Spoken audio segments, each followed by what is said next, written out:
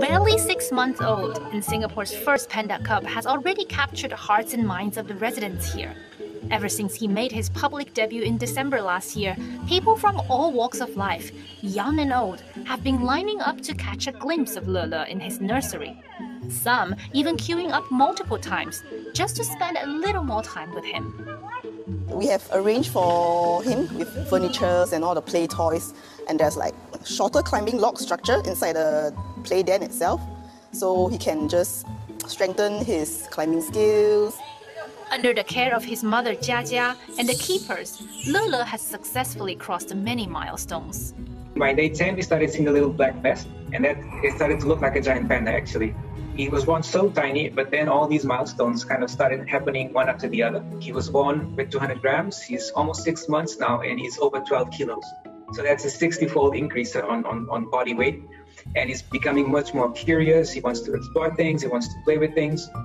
Lele was born on 14th August last year, nine years after his parents Kai Kai and Jia Jia arrived in Singapore on loan from China in 2012.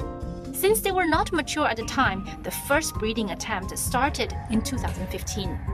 But with giant pandas being notoriously difficult to breed due to a short fertility window once a year, it took seven attempts for Jia Jia to finally conceive. The birth of Lele is a result of extensive collaboration between the Singapore team and the panda experts in China. The minute we were approved as, as a partner for the conservation and breeding of the giant pandas, the first thing to do was actually to send some of our staff to China to learn because obviously we never cared for them.